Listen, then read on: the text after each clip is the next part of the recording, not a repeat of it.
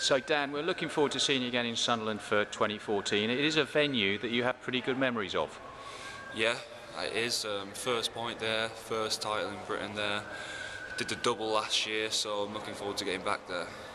And you, so you're returning to us as, uh, as, as reigning champion.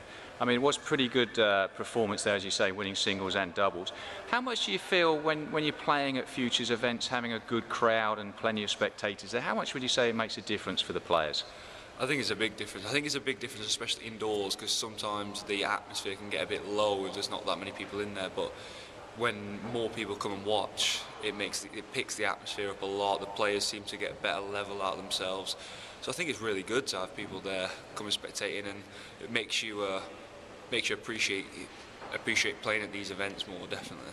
And I think also for spectators that do come along, one of the things that they do make comment about is the fact it's so good being so close up to the action because there's no sort of security or there's no sort of sort of sitting in the sort of top tier of a 30-story stand or something like that. It, it is really right up close to the action and therefore a good opportunity to see that. Yeah, well, we've not got many, uh, not got many people trying to run onto the course now, um, but it's. Um, yeah, it's a great way to, to watch the game and see see um, see that kind of level up close. Um, indoor tennis, on the TV, obviously sometimes it it can look a bit back back and forth, but when you see it live, it's um, it becomes a lot more a lot more entertaining, I think, to watch. Yeah, absolutely.